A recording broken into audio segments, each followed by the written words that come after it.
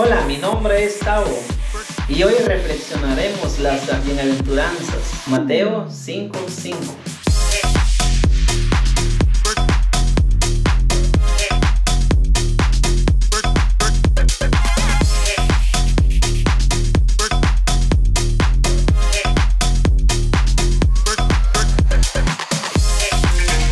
Dios bendice a los que son humildes porque heredarán toda la tierra. Síguenos en Facebook, Twitter, Instagram, TikTok. Adiós.